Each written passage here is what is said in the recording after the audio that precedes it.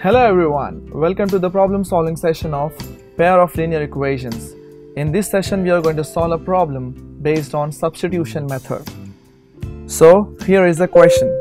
It says solve the following pair of linear equations by the substitution method. And the equations are x plus y equals to 14 and x minus y equals to 4. We are going to solve this problem using particular steps. So first of all, we'll understand this question.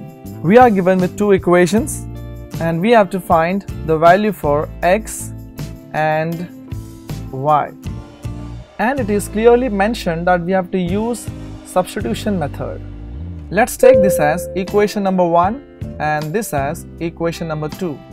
We already know that whenever we use substitution method, we substitute one equation into other.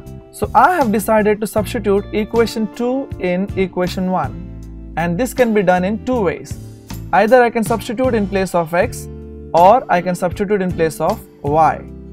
So I have decided to substitute in place of x.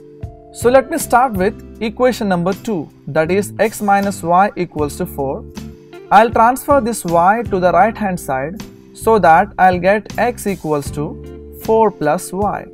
Now I got value for x. I'll substitute this x in equation number 1. So therefore, in equation number 1, in place of x I'll get 4 plus y and I'm already having y in equation 1 equals to 14.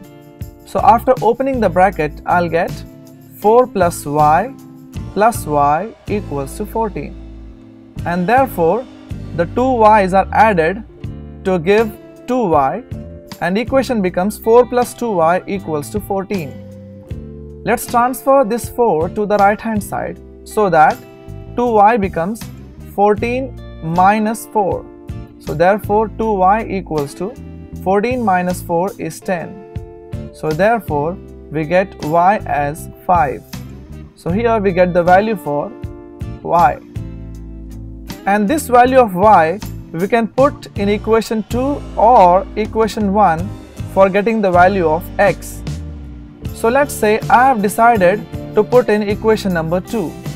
So therefore in equation number 2 I am having x and in place of y I'll put 5 and this becomes x minus 5 equals to 4 and I'll transfer this minus 5 that is negative 5 to the right hand side so that I'll get x equals to 4 plus 5 and therefore x equals to 9. I got value for x as 9. So according to the question, I wanted the values for x and y.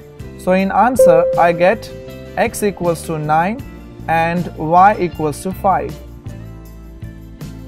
So let's have a glance at the steps we have followed to solve this pair of linear equations.